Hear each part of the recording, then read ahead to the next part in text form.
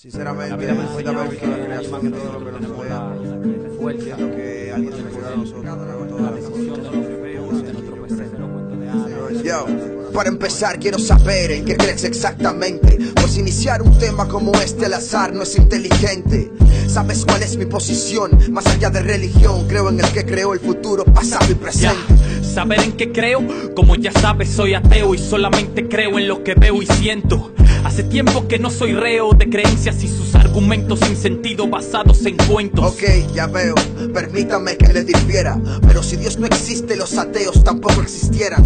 Creer en lo que se ve es lo normal Y lo que se siente no se toca sensorial Mira, te explico, todo lo que tú sientes solo me hace pensar que no eres autosuficiente para darte cuenta que cada sensación la provoca tu mente como el amiguito imaginario que un pequeño inventa. ¿Y qué tratas de decir? Que a Dios lo inventamos nosotros. Y entonces, ¿quién creó este mundo maravilloso? Mundo que hemos dañado con nuestras propias manos, engañando y destruyendo, marcando a nuestros hermanos. Sí, tú lo has dicho, men, todo está en nuestras manos. El ser humano crea su propio futuro y su trayecto. Tu Dios hizo un esfuerzo en vano y para el colmo hizo un infierno para sus hijitos llenos de defectos. Crear nada más bien diría Nuestro futuro es resultado de cómo nuestro presente pasaría Luego de ver el fruto de su osadía Culpan a Dios por las consecuencias de sus tonterías Dime, ¿a quién voy a culpar? A ver, supuestamente no se moverá una hoja sin la voluntad de él, pero a mi parecer, tu Dios siempre ha sido la excusa para matar, engañar y robar entre tantas cosas. Sí,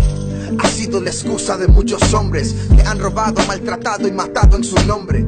Y por lo que dices puedo ver que es que no crees que no existe, sino que estás enojado con él. Ja, enojarme con él sería estúpido y créeme que no hago nada que no crea necesario. Si me enojo es con cada ser que no acepta que el futuro no lo escribe ningún ser Sí, imaginario. imaginario que aún no me has podido decir cómo explicar todo lo que vemos al vivir. Causa y efecto, virtud y defecto, universo inmenso. Frente a él parecemos insectos. No, el tamaño del universo no demuestra nada. Tus argumentos son paradojas quemadas. La maravilla del cosmos hace mucho ya fue estudiada. La evolución es la lógica más grande demostrada. Pues evalúa para qué estás y para qué vives. Evalúa, no sabes tus principios ni tus fines. Evalúa por qué existes. Si Dios no es real, ¿por qué negar la existencia de algo que no existe? ¿ah? Lo que acabas de decir no tiene fundamento. Mi final será como el de todos, nada diferente. Es egoísta ese cuento de que te crearon especial y superior a todo ser viviente. El progreso de uno hace que otros se vean menos especiales,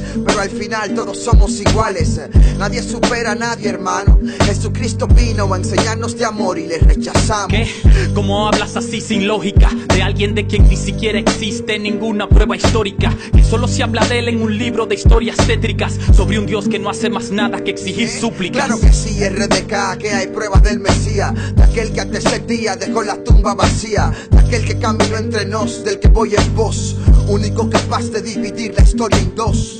Muy bonitas tus palabras, me lo tengo que aceptar, pero te juro que me has dejado igual. No has podido explicar ni darme nada convincente. Dime de alguien a quien tu Dios se le haya parado al frente. Si te lo digo tal vez no me creerías, dirías que mentiría para convencerte. Porque este que te habla escuchó su voz un día y desde ese día mi vida ha sido diferente. Claro, claro que no te creería. Todo hecho que no ha sido demostrado se ha quedado en teoría. Sabías que hablarías de eso que sientes. La voz a la que te refieres se le llama subconsciente. Como tú puedes llamar subconsciente. o lo que tú Sí, quieras, eso es lo que es, men. hace falta fe. Es que- entonces me dicen que tengo que ir a la palabra de él, a la Biblia, para tener fe. Entonces, eh, ¿cuál es la paradoja? Entonces, ¿cómo lo No, hago? lo que pasa es que tienen que aprender a leer la Biblia, No. eso no se interpreta hacia lo loco. Es que entonces, él sabía que lo iba a hacer para gente simple. Entonces, Pero ¿cuál era? ¿Por qué hay que irse tiene No Argumentos de dos pensadores arriesgados a dejar las barreras y hablar lo que tienen claro. Es la lucha interna de seres humanos que final creen mucho pero dudan demasiado.